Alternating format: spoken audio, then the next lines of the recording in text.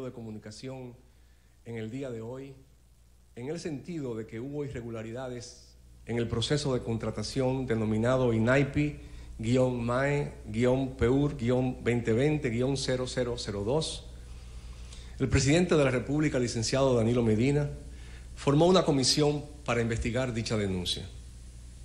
La comisión estuvo integrada por el ministro de la Presidencia, licenciado Gustavo Montalvo, el ministro administrativo de la Presidencia, licenciado José Ramón Peralta, la directora general de Contrataciones Públicas, licenciada Yocasta Guzmán, y un servidor, consultor jurídico del Poder Ejecutivo.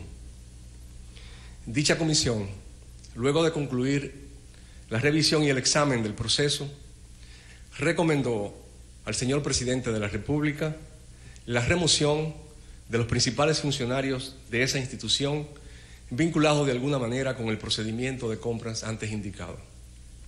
En ese sentido, informamos que por medio del decreto 146-20 de esta misma fecha, que se dará a conocer dentro de poco, el presidente Medina hizo efectiva hoy la destitución del director de operaciones del Instituto Nacional de Atención Integral a la Primera Infancia, Ricardo Guzmán, y la directora de compras, Mayra Martínez, así como de los cinco miembros del Comité de Licitaciones.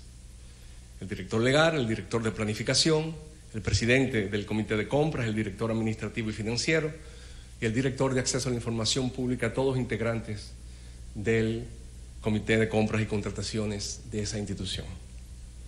Por su parte, la directora de la institución presentó su renuncia con efecto inmediato quien reconoció que por la prisa del estado de emergencia del país fueron omitidos procedimientos mandatorios de nuestra legislación.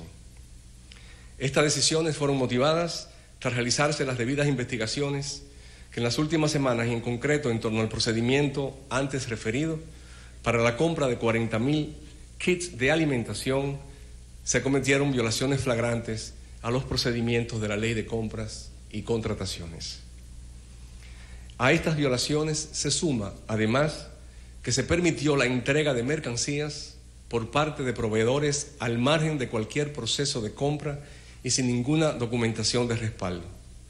Por estas circunstancias, debemos señalar que el Estado se ve imposibilitado de hacer efectivos los pagos a dichos proveedores, puesto que las entregas se realizaron al margen de la ley.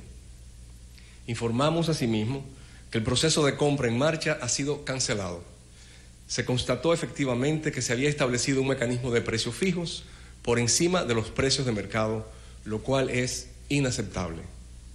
En este caso, este caso será puesto inmediatamente a disposición de la Procuraduría General de la República para su investigación. Señoras y señores, como hemos repetido en otras ocasiones, hemos dicho en otras ocasiones, desde el gobierno nos estamos asegurando que más allá de cualquier circunstancia, los procesos de compra se rijan por los principios de competencia, publicidad y transparencia claramente establecidos en nuestra legislación sobre esta materia. Ni siquiera en estos momentos de emergencia caben atajos que puedan violentar los debidos procesos. Por el contrario, ahora más que nunca, debemos asegurarnos que hasta el último centavo se gaste de forma eficiente y transparente para dar respuesta a las múltiples necesidades del pueblo dominicano en las difíciles circunstancias que enfrentamos.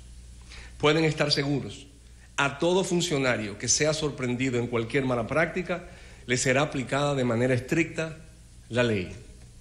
Queda demostrado en esta ocasión, por tanto, que no se permitirán excepciones, como no se ha permitido en esta ocasión. Muchas gracias.